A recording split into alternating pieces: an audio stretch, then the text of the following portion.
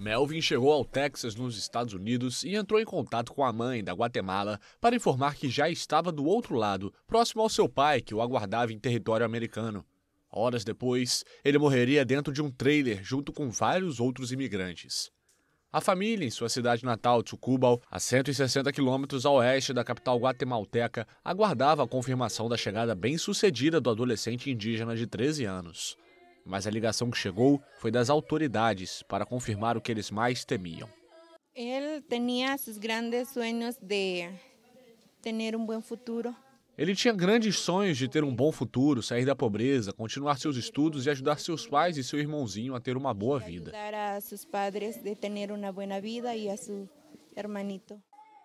O corpo de Melvin estava entre os encontrados mortos na segunda-feira dentro da caçamba de um caminhão abandonado em San Antônio, no Texas. No México, a dor é a mesma. As mensagens escritas por WhatsApp de Teófilo Valência para o filho nunca foram lidas. Jair, de 19 anos, seu irmão Giovanni e o primo Misael, ambos com 16 anos, todos mexicanos, saíram de Vera Cruz. Atravessaram o Rio Grande na segunda-feira e entraram no Texas ao amanhecer. Desde aquele dia, não se teve notícia deles.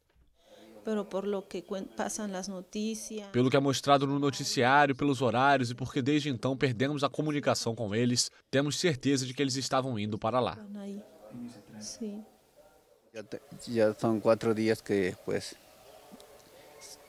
não sabemos nada deles. Hoje faz quatro dias que não sabemos nada sobre eles. Não temos respostas, nada. Estamos sofrendo há tempo demais. Eu creio que já é demasiado tempo o que estamos este, sofrendo.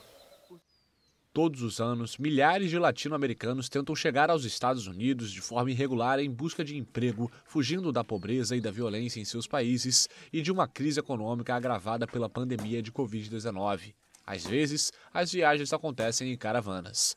Outras são guiadas por traficantes de pessoas conhecidos como coiotes, que cobram grandes quantias de dinheiro.